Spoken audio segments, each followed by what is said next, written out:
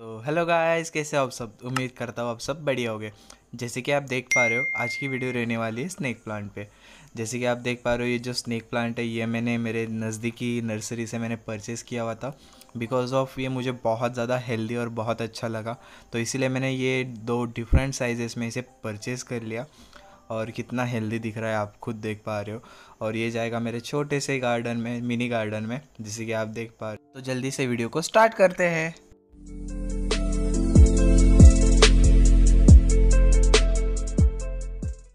तो जैसे कि आपने देखा कि आज की वीडियो रहने वाली स्नैक प्लांट पे तो हम इसको जल्दी से हम पॉट कर लेंगे। जैसे कि आप देख पा रहे हो जो हमारा पॉट है, जो कि नर्सरी पॉट भी कहा जाता है, उसको कितने अच्छे से ड्रेनेज होल है।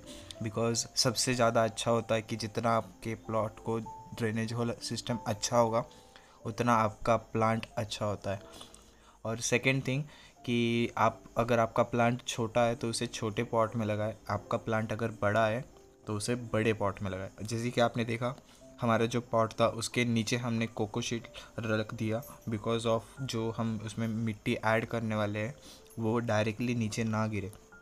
दैट्स वाई हमने उसे कोको से नीचे रख दिया एंड उसके ऊपर जो हमारी मिट्टी थी, जो भी आपके होम ग्राउंड में जो भी अभी अवेलेबल होगी या फिर जो गार्डन सॉइल आपके पास अवेलेबल होगी, वो आप उसे ऐड कर सकते हो। वो बेस्ट होता है। ओके? जैसे कि आप देख पा रहे हो, मैंने एक लेयर उसी की बना ली है एंड जो नर्सरी के साथ मुझे आई हुई जो मिट्टी है, वो मैं इसमें फिल करूँगा और उसके बाद जो मिट्टी रहेगी, वो साइड से मैं उसे फिल अप कर दूँगा। जैसे कि आप देख पा रहे हो, अगर आप नर्सरी से कौन सा भी जो पौधा होता है, अगर आप ला रहे हो तो एक लाइन बनी हुई रहती है। वहीं से आपने को, आपको वो जो है प्लास्टिक की पॉलीथीन बैग वहाँ से ही निकालनी है। बिकॉज़ उससे क्या होता है, वो जो मिट्टी है, वो मिट्टी डिस्टर्ब नहीं होती, उसके जो प्लांट होता है प्लांट के रूट भी डिस्टर्ब नहीं होते। और मैं क्या करूँगा, अभी उसको सेपरेट नहीं करूँगा, जो मिट्टी के साथ प्लांट आया हुआ है एज़ इट इज़ मैं उसमें रख दूँगा। जैसे कि आप देख पा रहे हो थोड़ी सी मिट्टी मैंने निकाल ली है एंड ये पॉट में कर दूँगा। एंड उसके बाद जो एडिशनल मिट्टी होगी, वो एडिशनल मिट्टी मैं साइड बाय साइड फिल करते जाऊँगा। और जैसे कि आप देख पा रहे हो, मैं अदर पॉट से उसे मिट्टी ले रहा हूँ और साइड बाई साइड उसे फिल करते ही जा रहा हूँ। ओके एक्सेस मिट्टी आपको मतलब ज़्यादा प्रेस क्रेस करके ज़्यादा फिल नहीं करनी है। बिकॉज़ मैं आपको बताता हूँ, आपका जो रूट रॉट होता है, ये प्रॉब्लम होता है। वो कई बार क्या होता है, हम जो मिट्टी है उसे दबा दबा के उसको मतलब ऐड कर देते हैं पॉट में। तो उससे क्या होता है, जो वाटर होता है उसमें वो जैसे कि तैसे रहता है। तो इसके वजह से भी रूट रॉट होने के चांसेस हो जाते हैं। तो आप जितनी ज़रूरत है, उतनी ही मिट्टी डालें एक्सेस मिट्टी ना डालें। जैसे कि आप देख पा रहे हो, मैं जितनी उसे ज़रूरत है, उतनी भी मिट्टी उसमें फिल कर रहा हूँ ओके और एक बात अगर आपने एक नोटिस की होगी, जो मेरे दोनों स्नैक प्लांट है, उसमें ऑलरेडी पब के साथ मैंने स्नैक प्लांट लिया हुआ है। जैसे कि आप देख पा रहे हो कि एक साइड में एक पप ऑलरेडी आया हुआ है। सो अगर आप नर्सरी से कौन सा भी अगर प्लांट लेते हो तो ये ध्यान में रखें कि उसे पप आया हुआ चाहिए या फिर वो एक एडवांटेज होता है बिकॉज़ आगे जाके तो उसे आने ही वाले पप्स नो नो मतलब नो इशू मगर आप उसके जब लेते हो तो ऑलरेडी उसमें पप होता है तो वो पप के साथ ही ग्रो करना स्टार्ट हो जाता है। तो ये बेस्ट एडवांटेज होता है। तो ये आप मतलब एक अच्छी ये सजेशन है, ये ध्यान में रखो। अभी बारी हमारे सेकेंड पॉट की। जैसे कि आप देख पा रहे हो ऑलरेडी मैंने उसमें मिट्टी फिल की हुई थी, जो कि ड्रेनेज होल मैंने ऑलरेडी उसे पैक किया हुआ था एंड देन उसमें मिट्टी जो रेड सॉइल थी हमारी गार्डन सॉइल वो ऑलरेडी मैंने फिल की हुई थी।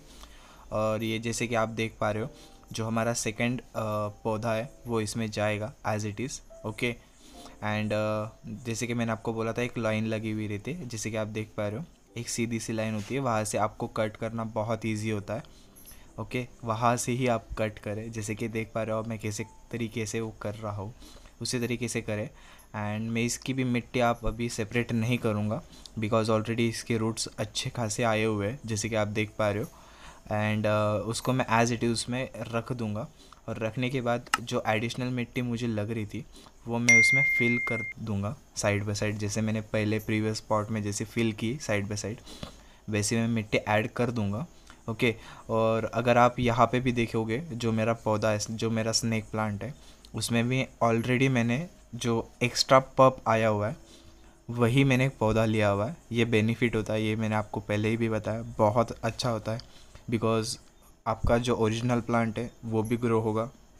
साइड बाय साइड जो पप आ रहा है, वो भी ग्रो होगा। और आगे जाके उसको जो आने वाले पप्स है, ये दोनों मतलब पौधे को आने वाले हैं। ओके, अगर आप नॉर्मल एक पौधा लेते हो, उसको तो पप आने वाला है। मगर ऑलरेडी आप जब ले रहे हो पौधा, उसको अगर ऑलरेडी वो दो प्लांट है तो दो प्लांट के और दो प्लांट बनेंगे। मतलब आप, देखो आप, वो ये बात बहुत अच्छी है, ये ध्यान में रखें, अगर आप कोई भी पौधा ले रहे हो तो। तो कुछ इस तरह से मैंने पूरा साइड बाय साइड मिट्टी थी, वो फिल कर दी हुई है। आप देख पा रहे हो कितना कितना बेहतरीन और कितना शानदार लग रहा है बिकॉज़ वो जो ब्लैक पॉलीथीन में था, इतना ख़ास, इतना अच्छा नहीं दिख रहा था। मगर अभी जो पॉट में जाके कितना अच्छा दिख रहा है। ओके तो जैसे कि आप देख पा रहे हो, हमारे दोनों पॉट में हमने हमारे जो स्नैक प्लांट था, इसे लगा दिया हुआ है और कितना बेहतरीन और कितना शानदार और दिख रहा है। तो ड्यूरिंग हम जब उसे पॉट में लगा रहे थे तो उससे मिट्टी के दाग लगे हुए थे।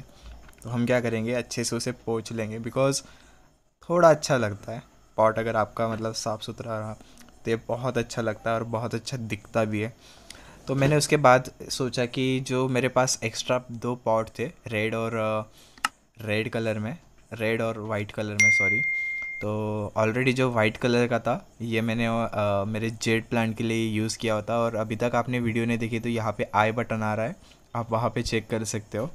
तो यही था मैंने इसको रेड पॉट में लगाया और कितना अच्छा दिख रहा है आप देखो। तो कितना बढ़िया और कितना शानदार है। यही था आज के वीडियो में एंड ये वीडियो आपको कैसी लगी, हमें कमेंट सेक्शन में ज़रूर बताइए। वीडियो को लाइक कीजिए, चैनल को सब्सक्राइब कीजिए और ज़्यादा से ज़्यादा इसको शेयर कीजिए। तो मिलते हैं अगले वीडियो में, तब तक के लिए टेक केयर बाय बाय हमारे न्यू वीडियो आ गया है, उसको लाइक कीजिए और सब्सक्राइब कीजिए और इसको शेयर कीजिए।